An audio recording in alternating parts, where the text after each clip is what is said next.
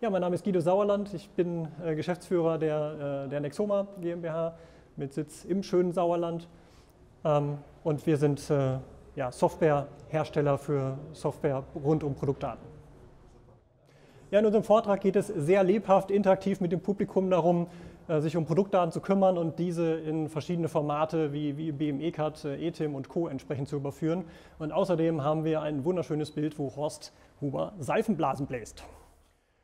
Ich bin schon mehrfach auf dem Print Day gewesen äh, und werde das auch weiterhin tun. Äh, der Print Day ist eine sehr lebhafte Veranstaltung mit, mit vielen ähm, ja, witzigen ähm, Effekten und Gedanken drumherum. Und es ist immer ein tolles Programm. Der reine Vortrag ist, ist gut äh, und drumherum gibt es ein tolles Programm, das immer wieder Spaß macht und gerade jetzt äh, nach Corona eine der ersten Veranstaltungen, die überhaupt wieder stattfindet. Äh, eine ganz tolle Organisation hier.